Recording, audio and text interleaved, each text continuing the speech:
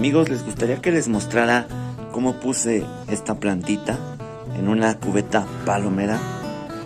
En este caso fue una de Groot, de esas que vendieron en Cineplanet.